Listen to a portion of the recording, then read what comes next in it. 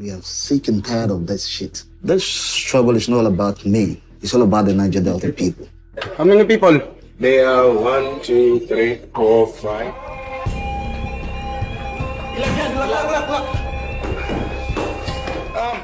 Out in the lawless waters, brutal gangs of Somali pirates are launching terrifying attacks, seizing massive cargo ships and holding their crews for staggering ransoms.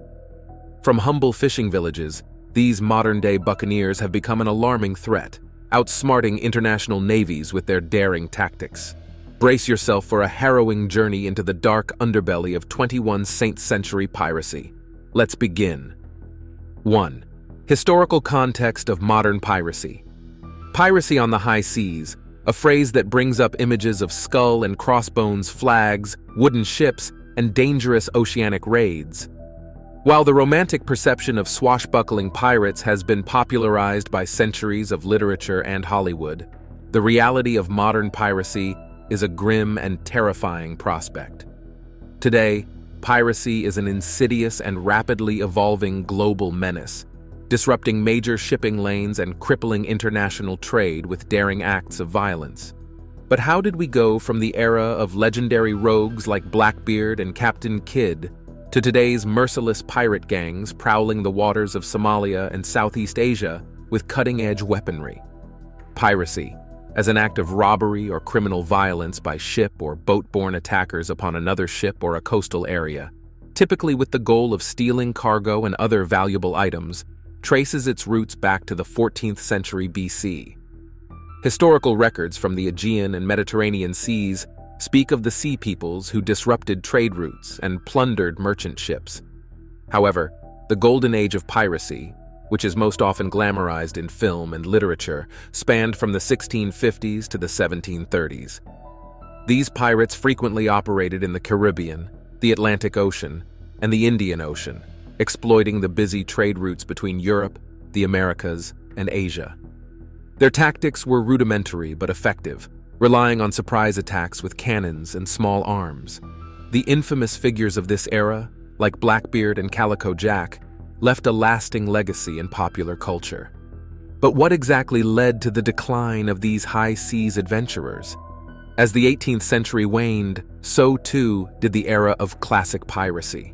The increasing naval power of European empires and the United States meant more patrols and better armed merchant vessels.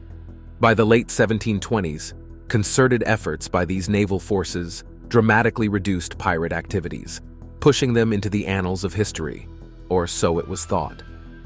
Fast forward to the late 20th and early 21st centuries, and we see a startling resurgence of piracy, though with markedly different characteristics.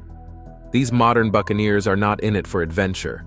They are hardened criminals motivated by brutal survival and economic desperation. Their weapons of choice are not primitive swords and flintlocks, but fully automatic assault rifles, rocket-propelled grenades, and heavy machine guns, enough lethal firepower to easily overwhelm most civilian cargo ships. Their tactics involve swarming unsuspecting vessels with a blitz of high-speed skiffs, grappling hooks, and belts of armor-piercing ammunition. Eyewitness accounts paint a chilling picture of these masked marauders storming ship decks, taking crews hostage at gunpoint while they plunder million-dollar payloads. But why did piracy resurface after seemingly disappearing? As global shipping increased exponentially, the vast expanse of the world's oceans presented numerous targets. Moreover, the end of the Cold War saw a reduction in naval patrolling in key areas, making commercial ships tempting targets for those living in impoverished or war-torn regions. What's particularly chilling about modern piracy is not just the severity of the attacks, but the implications they hold for global trade and security. The world relies on these waters for the majority of its commercial shipping, and any significant threat to this maritime traffic can have drastic ripple effects on global supply chains and economies. Piracy-induced supply chain disruptions can destroy economies and deprive nations of crucial goods. The psychological terror inflicted on captured sailors is its own form of torture. Many return home traumatized after months by their merciless captors. But how do we combat such a pervasive threat? The answer is as complex as the problem itself, involving a mix of heightened maritime patrols, international legal frameworks, and perhaps most crucially, addressing the underlying socio-economic issues that fuel piracy. It's a scary thought to wonder how these modern pirates became so menacingly well-equipped and organized, seemingly out of nowhere. Part of the answer lies in the availability of modern technology and the dissolution of traditional coastal security in many parts of the world. Modern technology like radar-guided skiffs, satellite communications, and shoulder-fired missiles have also dramatically enhanced pirates' ability to track, strike, and overpower their targets at will, or their target. This resurgence of barbaric piracy has not been uniform globally, but has spiked most ferociously in specific areas that we will explore in greater depth later. In these areas, pirate gangs are frequently aligned with militant groups or drug cartels.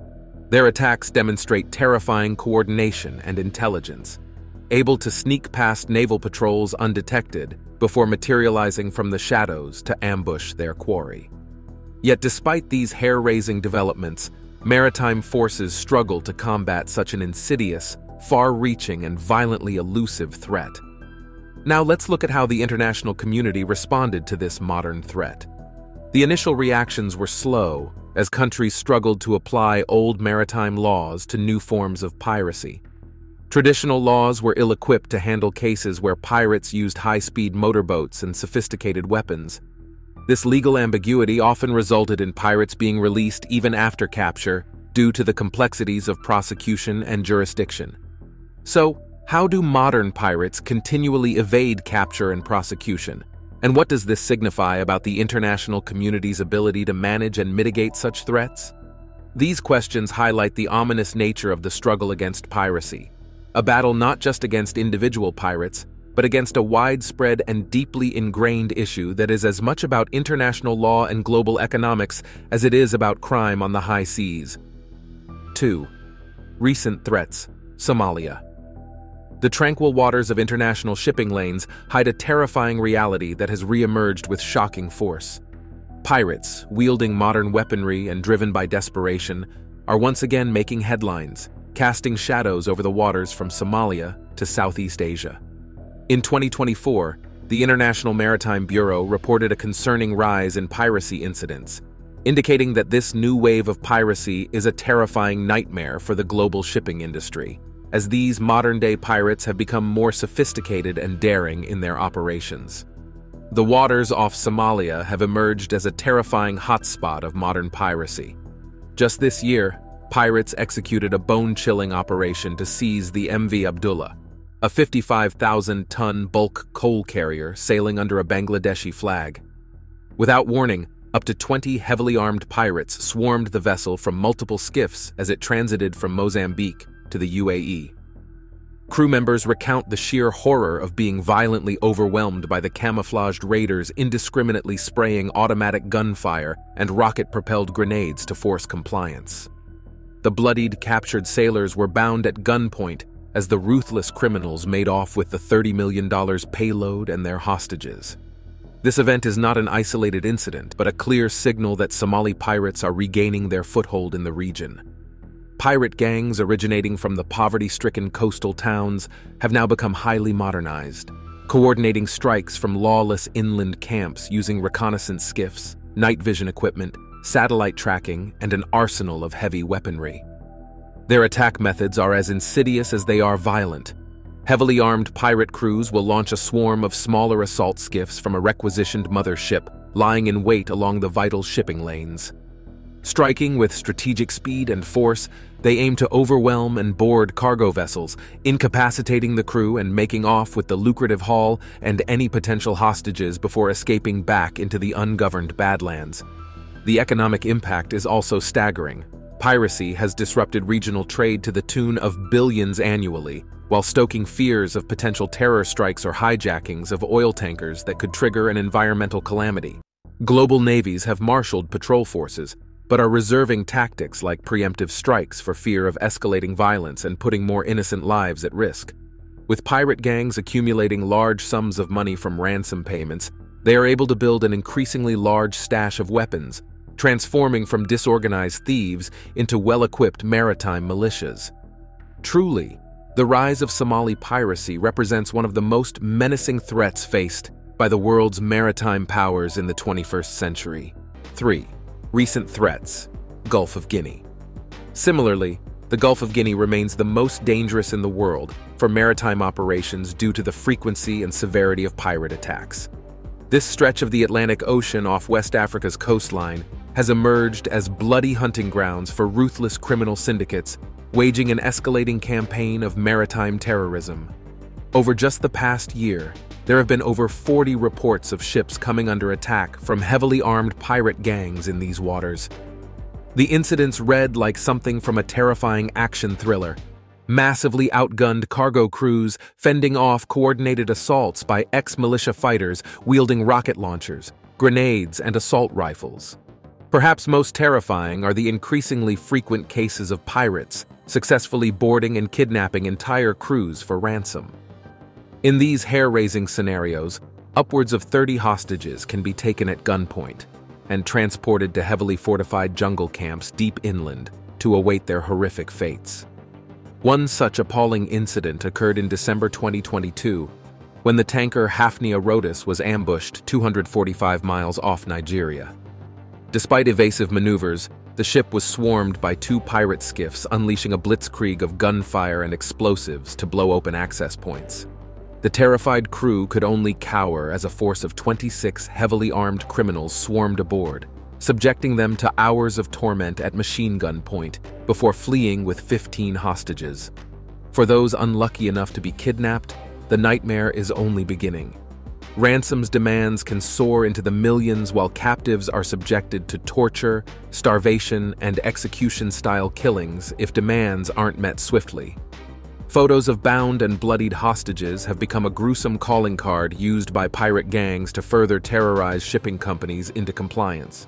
The economic toll is equally staggering, with maritime operations grinding to a halt as shipping firms reroute around the deadly zone at a cost of billions annually to avoid the kill zone.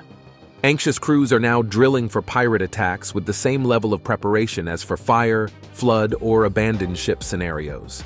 Moreover, Oil companies have been particularly hard hit, as pirates target petrol platforms and tankers with sophisticated capabilities like launching piracy castings, pre-scouted kidnapping operations meticulously planned with shared intelligence and heavy armaments. In one particularly brazen assault, five pirates were killed in a firefight as they attempted to take control of an offshore rig after disabling systems with an anti-tank missile. With stability deteriorating across the Gulf nations, there are grave fears that piracy could spread into a full-blown insurgency, empowered by tens of millions in ransomed cash used to acquire weapons, recruit more fighters, and potentially coordinate with religious militant groups, also active in the region. 4. Recent threats, Southeast Asia. The Malacca Strait has become a maritime killing zone where pirate gangs rule with impunity, turning these crucial shipping lanes into a WPRD of terror. This 550-mile choke point linking the Indian and Pacific Oceans has emerged as ground zero for some of the world's scariest hijackings and robberies at sea. Despite robust joint patrol efforts by Singapore, Malaysia, and Indonesia, violent attacks against shipping remain rampant and increasingly brazen. Over just the past year, there have been dozens of reported pirate attacks in the Strait and surrounding Indonesian-Malaysian waters. But the reality is likely far worse, with many incidents going unrecorded to avoid scrutiny and costly delays. In a particularly harrowing incident last year, the supertanker Bright Infinite was set upon by a swarm of masked raiders firing tracer rounds and RPGs as it transited the Singapore Strait. As smoke filled the bridge, the terrorized crew could only cower as boarders swarmed over the railings, pillaging the vessel of cash and valuables at gunpoint before vanishing back into the night. Opportunistic attacks are just one dimension of the piracy plague gripping these waters. Southeast Asia is also grappling with highly organized and well-financed pirate outfits running sophisticated theft rings, using mapped shipping data, inside informants, and covert motherships to carry out precisely timed heists of everything from consumer goods to millions in high-value cargo like gasoline, electronics, or precious metals. At the core are powerful criminal syndicates exploiting local poverty to evolve from small-time bandits into maritime militias. Operating from rusty motherships, they can rapidly deploy swarms of machine gun and RPG-equipped skiffs primed to attack any high-value target. The human toll is particularly grisly, with captured sailors facing torture, sexual assault, and violence if ransom demands aren't swiftly paid. Some reports indicate pirates have even begun deploying child operatives masquerading as customs agents to enable ambushes.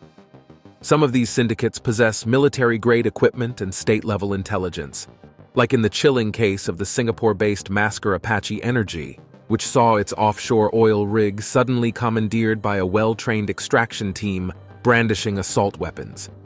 Despite a firefight with naval security, the pirates managed to loot the rig of equipment, supplies, and data representing over $10 million in losses.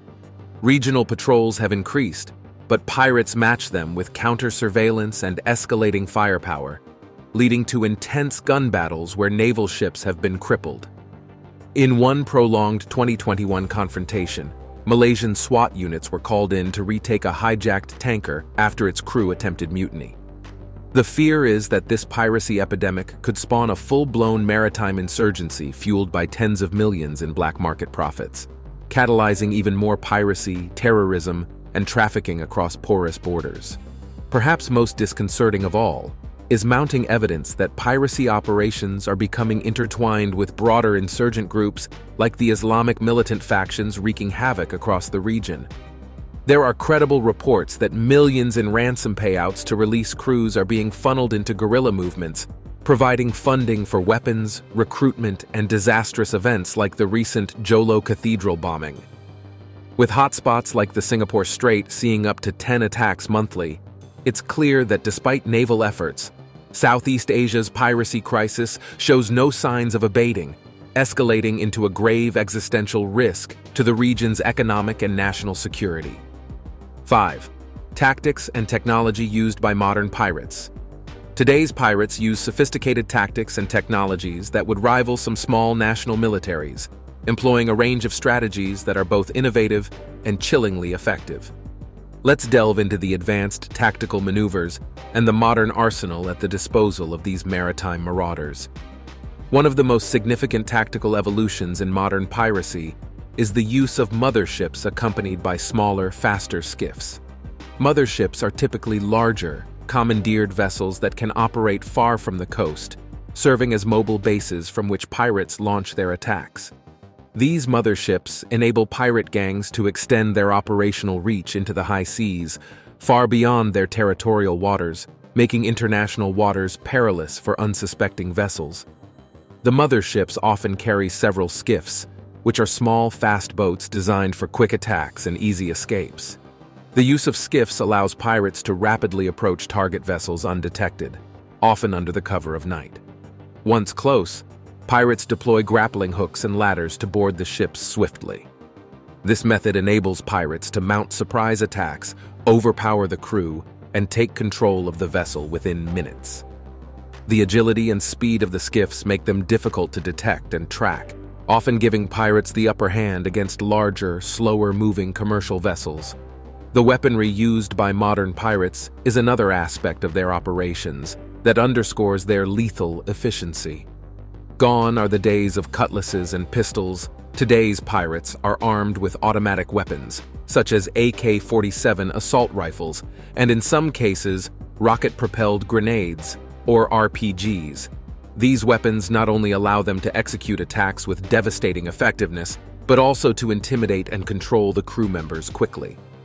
Automatic weapons provide the firepower necessary to sustain prolonged engagements, and to fend off any potential rescue attempts by security forces. Meanwhile, RPGs are particularly favored for disabling a ship's communication and navigation systems, making it impossible for the crew to call for help or escape. This level of armament has transformed piracy from a mere maritime nuisance into a significant international security concern. Modern pirates also employ a variety of attack methods that reflect their strategic planning and understanding of maritime operations. They're known to carefully select targets based on cargo value, vessel itinerary, and defensive capability. Intelligence is gathered through various means, including monitoring maritime communications and using informants in ports who provide details on ship movements and cargo. Pirates often execute coordinated attacks involving multiple skiffs, sometimes under the guidance of spotters on the mothership, who direct the operation via radio communications. This coordination ensures that pirates can simultaneously attack different parts of the vessel, overwhelming the crew and securing the ship quickly. Furthermore, pirates have adapted to countermeasures employed by shipping companies. For instance, in response to ships traveling at higher speeds to evade pirate skiffs, pirates have started using more powerful and faster boats that can chase down these vessels. They also deploy tactics like fake distress calls or posing as fishermen to lure ships into slowing down or altering course, making them easier targets. The chilling efficiency of modern pirates, equipped with military-grade weapons and employing guerrilla tactics, has made them an unprecedented threat on the high seas. Their ability to strike with precision and escape with impunity poses not just a threat to the safety of seafarers, but also to international trade and security. The question remains, how can the international community effectively combat such a well-armed and elusive enemy? 6. Economic and social drivers of piracy. The murky waters of modern piracy are not just navigated by the ruthless or the criminal out of sheer malevolence, but often by those pushed to the brink of despair by economic and social turmoil. The decision to turn to piracy is seldom made lightly. It is frequently a desperate response to dire economic circumstances and stark lack of opportunities, particularly in regions like Somalia and the Gulf of Guinea, where political instability and poverty run rampant, piracy becomes a grim livelihood for many. But what drives so many to this perilous way of life? And how have global economic disruptions, such as those caused by the COVID-19 pandemic, influenced these trends. In Somalia, the collapse of a central government during the early 1990s left its coastal communities with scant economic opportunities and little means for survival. With the country's institutions in ruins, its extensive coastline became a lawless zone, perfect for the inception of piracy. The local fishermen, initially aiming to protect their waters from the illegal fishing and dumping by foreign vessels, eventually saw piracy as a more lucrative venture, given the high rewards involved in hijacking commercial ships. Thus, a fisherman struggling to make ends meet might view the potential million-dollar ransom from a single hijacking as a transformative fortune. The Gulf of Guinea presents a similar narrative but with its own unique drivers. The region's oil wealth generates significant maritime traffic, which presents a tempting target for piracy. Here, piracy is also driven by economic disparity and the corruption endemic within the political systems of the region. Many involved in piracy come from impoverished backgrounds, with few job prospects outside of illegal activities. The wealth generated by oil does not trickle down to these communities. Instead, it often lines the pockets of the politically connected, leaving coastal populations in poverty and making piracy an appealing option, albeit dangerous and morally fraught. The impact of global economic disruptions, especially those triggered by the COVID-19 pandemic, has further exacerbated these issues. The pandemic led to a sharp decrease in global trade, straining economies worldwide and especially hitting hard the already vulnerable regions. For communities reliant on fishing or market trading, the restrictions imposed during the pandemic meant reduced catches and fewer markets were available, leading to increased poverty. With ships idling off coasts, sometimes abandoned by economically strained shipping companies, they became even more tempting and accessible targets for pirates. The economic hardship brought about by the pandemic has seen a corresponding rise in piracy activities, as more individuals view the high seas as a venue to escape the shackles of poverty. The desperation bred by economic instability leads to more aggressive and daring attacks, as pirates have less to lose and more to gain with each venture. Moreover, the lure of piracy is not merely a testament to individual desperation, but reflects broader systemic failures. The regions most affected by piracy often suffer from weak governance, where law enforcement is inadequate and penalties for piracy are inconsistently applied. This governance vacuum not only makes piracy a feasible option, but also diminishes the risks involved, emboldening would-be pirates. As we peel back the layers of modern piracy, it becomes evident that beneath the surface of this global menace lies a complex interplay of economic desperation, social inequities, and systemic failures. Addressing piracy means grappling with these underlying issues, steering potential pirates toward more hopeful and law-abiding horizons. 7. International responses to combat piracy. The international response to the escalating threat of modern piracy has evolved into a sophisticated array of naval coalitions and task forces, showcasing a determined global effort to safeguard the crucial arteries of maritime commerce. These multinational efforts reflect a deep understanding of the complex nature of piracy and the need for a coordinated strategy to mitigate its impacts effectively. Let's explore how these international bodies operate and delve into some of their most significant operations, such as those undertaken by the Combined Task Force 151. The backbone of the international response to piracy consists of several key naval coalitions and task forces that operate across the world's most piracy-prone waters. These include the Combined Task Force 151, the European Union Naval Force, and NATO's Operation Ocean Shield. Each of these forces has a specific mandate, but collectively, they share the common goal of deterring piracy and securing international shipping lanes. CTF 151, specifically, is a multinational task force that was established in January 2009 as part of a larger multinational maritime effort known as Combined Maritime Forces. Based out of Bahrain, CTF 151's primary mission is to deter, disrupt, and suppress piracy, ensuring that the maritime environment is safe for commerce and navigation in the vast expanse of the Gulf of Aden and Somali Basin, regions notorious for pirate attacks. CTF 151 has been instrumental in several high-profile anti-piracy operations. One of its hallmark approaches includes the use of patrol aircraft and warships to escort and defend merchant vessels transiting through high-risk areas. These military assets are equipped with advanced surveillance and defensive technologies capable of detecting and responding to pirate threats long before they can pose a real danger to commercial ships. One notable operation by CTF 151 involved the dramatic rescue of a commercial oil tanker that had been seized by Somali pirates. Using a combination of airborne surveillance and coordinated naval responses, the task force successfully intercepted the pirate group, freed the hostages, and apprehended the pirates, all without any casualties.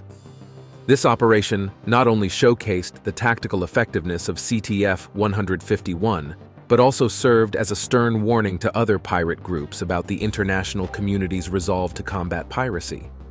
Furthermore, these coalitions also engage in soft power strategies, such as training local naval forces in affected regions to enhance their capacity to deal with piracy themselves. For instance, CTF 151 has worked extensively with the navies of Somalia and Yemen, providing them with the training and resources needed to patrol their own waters more effectively.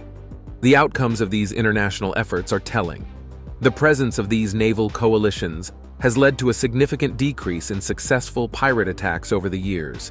According to reports, pirate attacks in the Horn of Africa have dropped dramatically since the peak of the crisis in the early 2010s, illustrating the effectiveness of these concerted efforts. 8. Technological advances in maritime security. Today, there are also a number of technological innovations that have become the front line of defense against the persistent threat of piracy.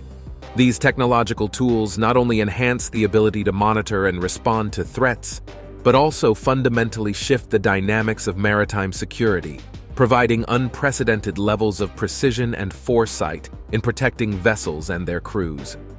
Artificial intelligence systems are now being employed to analyze vast amounts of data from various sources, including radar, satellites, and historical shipping records, to identify patterns and predict potential pirate activities. These systems can forecast the likelihood of piracy in specific regions by assessing factors such as political instability, typical pirate routes, and economic conditions.